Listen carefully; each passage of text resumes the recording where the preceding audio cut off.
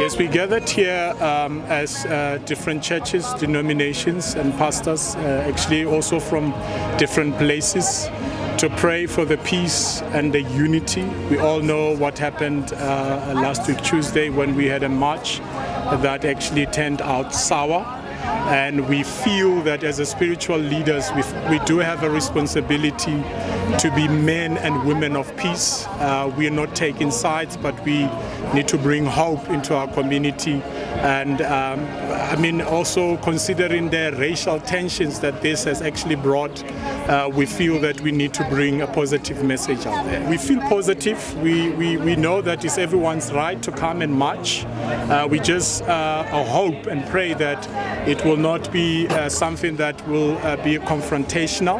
I just feel that everyone just you know, everyone is tired of the killings that are happening in our country, you know, and but we hope that it will not uh, spill into war. Uh, that's why we are here to pray to say, you know, it will not start in Senekal. Civil war will not start in Senekal because we know, you know, it just take one bullet and then the whole thing now is chaos.